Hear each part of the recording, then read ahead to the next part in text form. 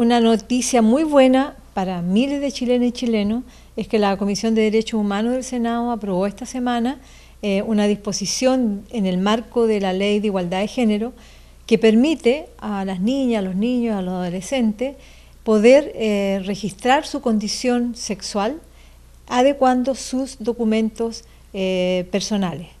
Esto significa que muchas niñas y niños que hoy día tienen una identidad sexual distinta, en el sentido de nacer mujeres, pero vivir una identidad de género de hombres, o a la inversa, ser hombres, pero vivir una identidad de género de mujeres,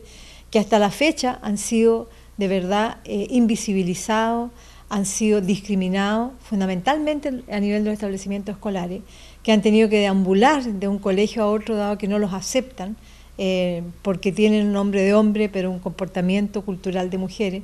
Eh, en este sentido es que hoy día, con esta decisión de la, de la Comisión de Derechos Humanos, y esperamos, y así lo vamos a trabajar en la sala del Senado, eh, van a poder eh, inscribir sus nombres de acuerdo a la identidad de género que ellos reconocen. Así que esto para niños como Andy, que en definitiva reconoció tempranamente su condición de género,